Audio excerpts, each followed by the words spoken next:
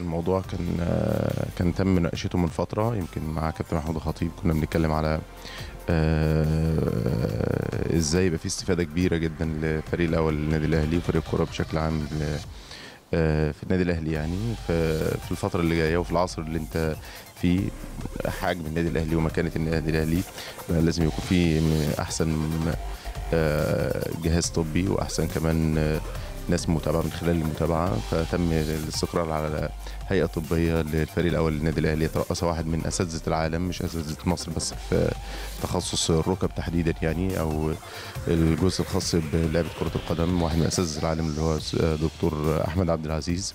مش الراجل الأول في مصر أنت بتتكلم على المستوى العالمي وهيئة طبية كاملة خاصة بالحاجات اللي هي مرتبطة بإصابات الملاعب زي دكتور ياسر المليجي في العمود الفقري بالتأكيد وأستاذ الدكتور ياسر المليجي زي الدكتور خالد شهيب تخصص الكتف زي الدكتور أحمد خليف تخصص القدم والكاحل.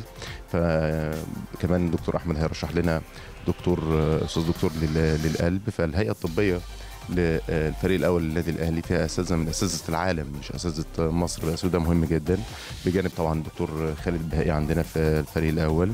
آه، بتشتغل على إزاي الوقاية من الإصابة إزاي الوقاية آه، من أي ضرر ممكن يقع على آه، أي لعيب في النادي الأهلي.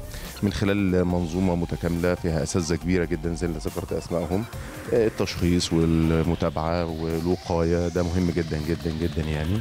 فأنت بتدور على أفضل حاجة. طبعا يمكن كان سؤال في الفترة اللي فاتت أو كان آه، حتة فيها مناقشة كتيرة جدا وخدت خدت آه، آه، جزء كبير جدا في الفترة اللي فاتت. لكن هي في النهاية أنت بتشتغل على على المستقبل. ممكن يبقى فيه كان تلاحم شديد جدا في المباريات بيتخللها أو بيبقى في وسطها سفر كبير جدا من مشاركة أفريقية من خروج من بطولة أو من مباراة لأخرى من مشاركة في البطولة العربية من مشاركة في البطولة الإفريقية من مشاركة في البطولة المحلية من آه، السفريات ال- المتلاحقة.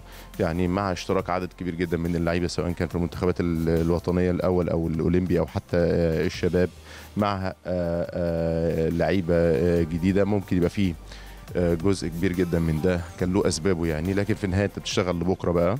فأعتقد إن ده كان مهم جدا جدا إن أنت تستقر على هيئة طبية ترأسها الاستاذ الاستاذ الدكتور أحمد عبد العزيز واحد من اساتذه العالم زي ما أنا ذكرت يعني وده مهم جدا جدا للنادي الأهلي يعني. انت بتدور على أحسن حاجة بتدور على أفضل حاجة تعملها للنادي والفريق الأول لكن أنت بتتكلم في المنظومة الرياضية ككل ما بقتش مرتبطة بس إن أنت بتجيب لعيب أو بيطلع لك لعيب من قطاع الناشئين. إزاي كمان متابعة المنظومة ككل من خلال كل أفراد المنظومة سواء كان مدير فني أو كان المستوى الإداري أو المستوى الطبي.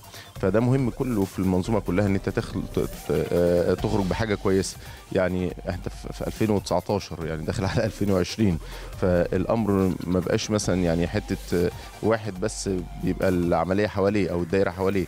المنظومة كلها لازم يبقى عندها كفاءة عالية جدا سواء كانت المستوى الفني أو المستوى الإداري أو المستوى الطبي أو التأهيلي أو العلاج الطبيعي أو كل ده لأن أنت بتتكلم في الآخر على آه، بيساوي آه، نتيجة إيجابية. انت بتتكلم في أرقام بتدفع بتتكلم في أرقام بتسمعها بقت كبيرة جدا وغالية جدا فبالتالي لازم المنظومة كلها تبقى على نفس المستوى على نفس الكفاءة يعني.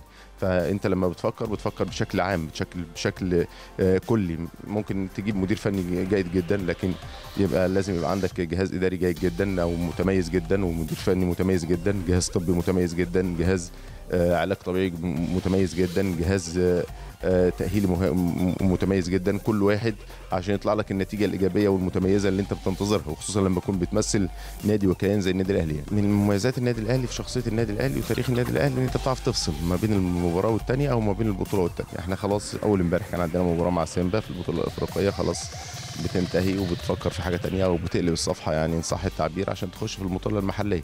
يعني ليك أهدافك وليك رؤيتك وليك آه، تطلعك اللي عايز توصل له يعني.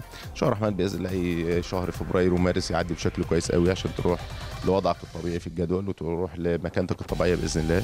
وده خلي بالك يعني لازم نتكلم بشكل واضح جدا يعني. أنت طالما أنت مركز بشكل كويس واخد الأمور آه، في نطاقها الصحيح بدون بدون أي تنشنة ولا عصبية ولا توتر إن شاء الله الرحمن هتوصل بشكل كويس جدا. تحترم الناس كلها تقدر الناس كلها تقدر الخصوم مهما كانت الفرقة اللي هتقابلك ومهما كانت آه، الصعوبات اللي عندك أو السفريات أو المشاركات المحلية وافريقيه لازم كمان تكون أنت على نقطة تركيز أو في نقطة تركيز عالية جدا عشان توصل لهدفك